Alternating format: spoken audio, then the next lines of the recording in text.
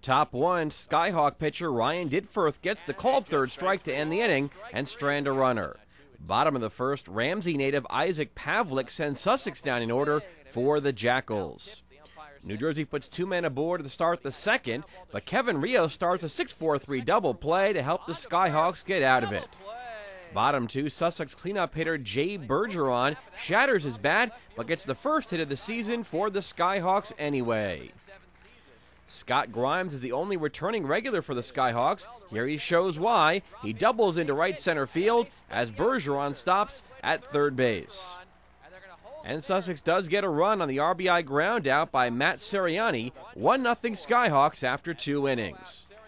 Top three now. Francisco Leandro of the Jackals hits one down the right field line and into the corner. He tries to stretch it into a triple, but the Skyhawks make the play and they cut him down at third base.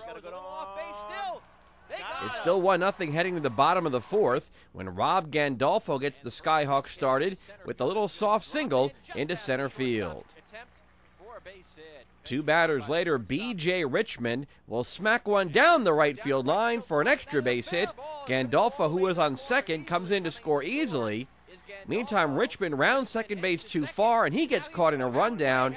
It's 2 0 Skyhawks, but the base running blunder cost them a chance for some more runs.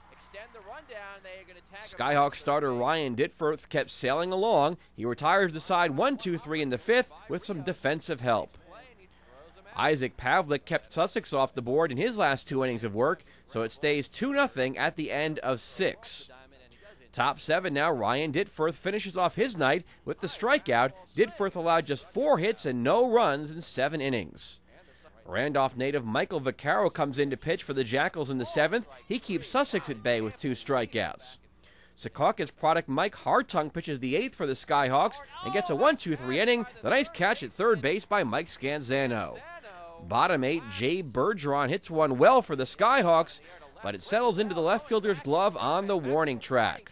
So we go to the top of the ninth. One time New Jersey Cardinal Zach Smithlin jumps on the pitch by Skyhawk closer Fernando Rijo.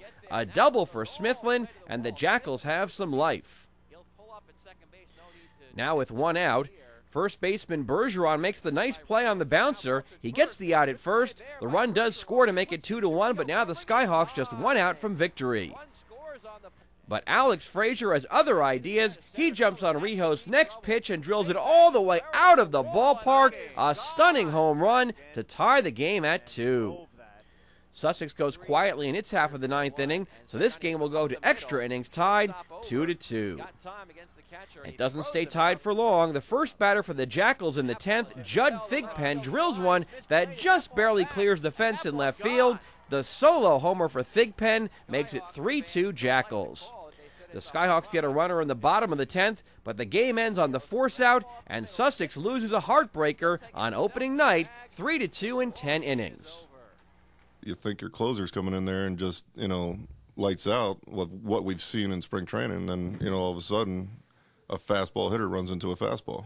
You know, you can't let these guys get to you when you got them down, and we let them get to us. It's a tough one to lose, especially in later innings like that when you play well throughout seven innings, play seven innings strong, and then it's just tough either way you look at it, any way you go.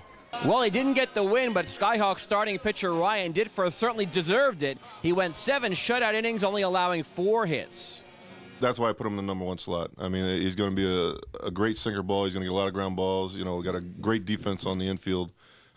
You know, overall, it comes down to one pitch, and you hate to say it because you lost the game for one pitch, but that's what happened. The only returning regular in the Skyhawks lineup is Scott Grimes, the left fielder. He had a good game here tonight with a couple of doubles. Feel good right now. Team's good. Everything's going good right now. I feel pretty comfortable right now. Still working some kinks out like always. It's early, but just like the whole team's working kinks out. So we'll get there. No big deal. Just one game. We got plenty more to go. There's a guy who's got sneaky power for you. Um, a guy who's going to hit the ball uh, in the gaps. He can run well as well. Um, and I base that team around uh, a lot of speed as well. We got to get on base to use it, but uh, you know, in certain situations, we got to know what to do as well. So, um, Scotty, you know, what can I say? I, I, love the kid. I mean, that's why I brought him back. You know, he's one of three guys that are here from last year, so he'll do well for us as well.